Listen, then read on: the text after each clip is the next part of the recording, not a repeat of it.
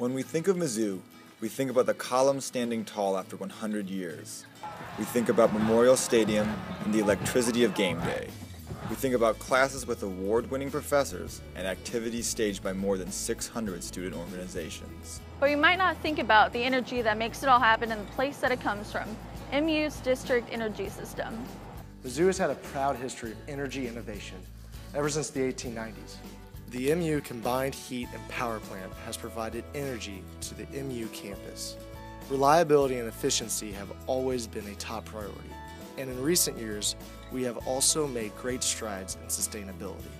Our district energy system provides utility service to more than 15 million square feet of facilities, which include hospitals, research facilities and laboratories, academic buildings, and other campus structures.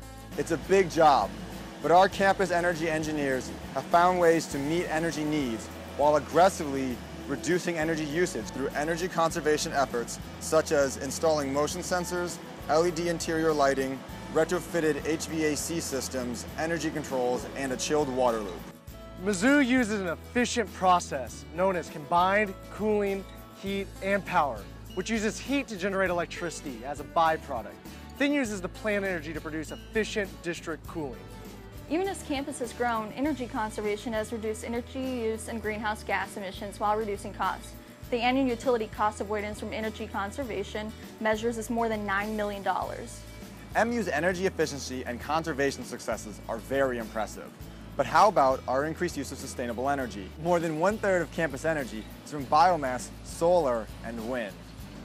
Our biomass boiler started up in 2013 and uses wood residues from sawmills and wood products to create renewable energy for MU's campus. Additionally, our on-site solar energy systems and wind turbine are great learning resources for our students. Our dedication to sustainability has not gone unnoticed. MU is currently the number one on-site generator of green electricity among college and university participants in the EPA's Green Power Partnership.